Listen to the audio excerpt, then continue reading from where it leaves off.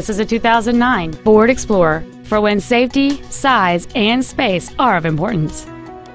It has a 4.0-liter six-cylinder engine, a five-speed automatic transmission, and four-wheel drive. Its top features include heated front seats, a low tire pressure indicator, satellite radio, aluminum wheels, and traction control and stability control systems.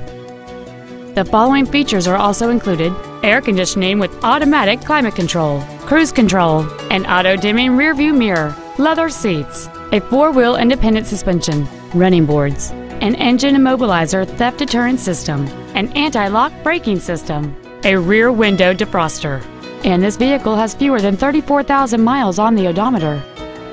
This Ford has had only one owner and it qualifies for the Carfax buyback guarantee. Please call us today for more information on this great vehicle.